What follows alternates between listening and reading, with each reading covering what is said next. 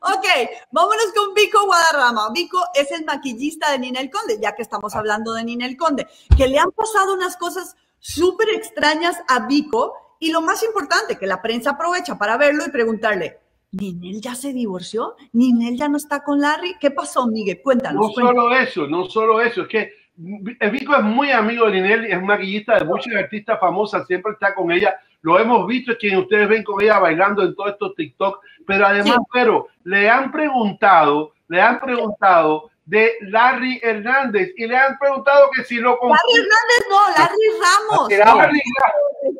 A ver, a, ti de quién te, a ver, Miguel, ¿a ti de quién te llegan las transferencias? ¿De Larry Hernández? Mira, vamos a escuchar a Vico, que ha dicho que incluso lo confundían con Larry Ramos. ¿Con el marido de Ninel? Oh my God. No, no el marido no, era espiritual, era espiritual. Ah, era espiritual. El marido espiritual de Ninel Conde. Es el ninelismo. Vámonos con el ninelismo. El gato, el, gato Giovanni. Pues no, no les puedo decir exactamente eso, tienen que preguntárselo a ella, pero está muy tranquila. Bueno, ya sabes que no se en Miami. No, en Miami, ¿no? Cuando de pronto se dijo que la detuvieron. Pues, pues, sí, justo no, no la detuvieron a Ninel, absolutamente no. ¿Qué fue lo que pasó? Eso fue falso. No les puedo decir yo exactamente porque no sé si me... Parte, pero también que nos cuentes. No me puedo meter en temas como tan de eso, de legales, y ustedes saben más que yo, este, pero pues bueno, no, Ninel solo les puedo decir que está tranquila, eh, estamos platicando y planeando nuevos proyectos que, que, les aseguro les van a encantar. eres tan su amigo que incluso hasta te confundieron con Larry Ramos.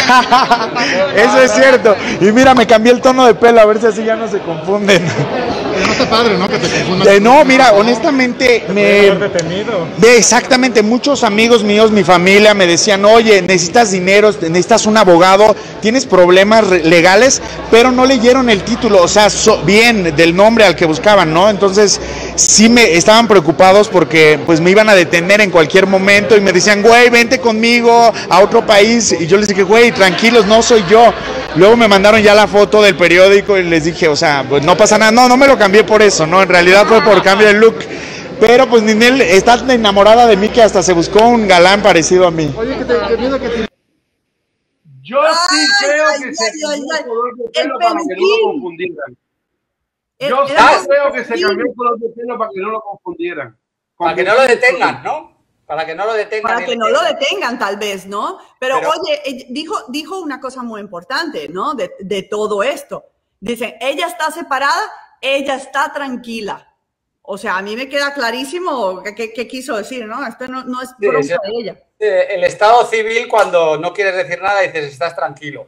Pero a mí, lo, me ha parecido mucho más interesante darme cuenta de dónde viene el, el peinado de Larry, ¿no? Porque yo creo que es, es, es de ahí, es el mismo. ¿no? el, famoso, gato Giovanni, viene de ahí, de Vico. Oye, pero te imaginas que, que te digan a el famoso gato, Giovanni.